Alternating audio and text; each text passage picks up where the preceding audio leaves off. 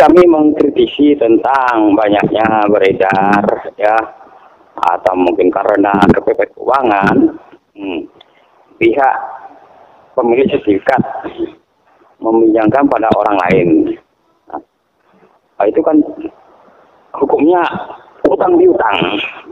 Nah, tapi pihak si penerima pinjaman tanpa sepengetahuan uh, yang yang meminjami uh, yang yang di yang meminjam uh, tiba-tiba pihak yang meminjamkan uang dimaksud memindah tangankan.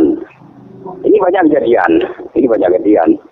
Sebetulnya tentang hukum utang piutang itu ya harus dipisahkan ya perdata ke perdata. Uh, tapi ini kok jadi AJB atas nama apakah itu koperasi ataupun perorangan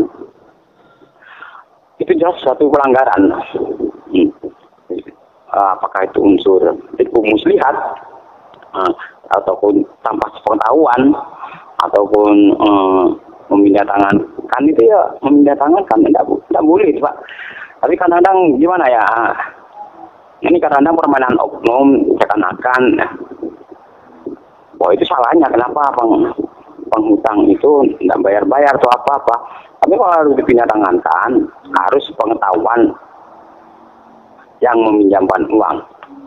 Nah, dalam hal ini bagi saya itu suatu pelanggaran. Dan indikasi ke arah pidananya cukup mengiyakan. Ya indikasi ke ke arah pidananya itu cukup mengiyakan ada unsur-unsurnya uh, memindah tangankan tanpa sepengetahuan pemiliknya. Akhirnya jadi AJB dan sertifikat itu pindah tangan kepada orang yang memberikan pinjaman uang. Ya apa pun rangkaian tipu muslihat itu hukumnya melanggar hukum. Baik hukum agama hukum hukum pemerintahan